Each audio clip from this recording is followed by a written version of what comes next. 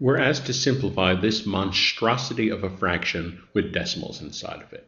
Now, first of all, I'll say the worst thing you could do would just be to start multiplying out everything straight. For example, multiplying in the numerator 0.0036 times 2.8. That would be a disastrous train wreck of a first move.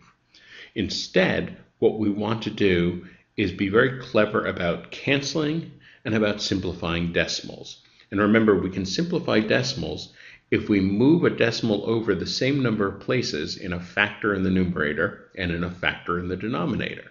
So for example, this 0.1, I'm going to move the decimal to the right and move the decimal to the right here, so I get 28. I'm going to move this decimal two places to the right, move this decimal two places to the right. And then notice I have 4 and 28, so those are going to cancel, and I'm just going to get 7. So let's just simplify. What are we left with here?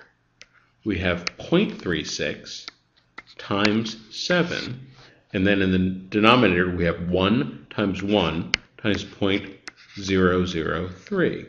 So now I'm going to move the decimal of this three places over. That means I'm going to move this decimal three places over. That means I have to add an extra zero and so now what I have is 360 times 7 divided by 3. I'll cancel.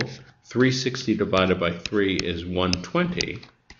Now I have 120 by 7. This is actually the only multiplication I have to do in the entire problem. This multiplies to 840, and this is answer choice A.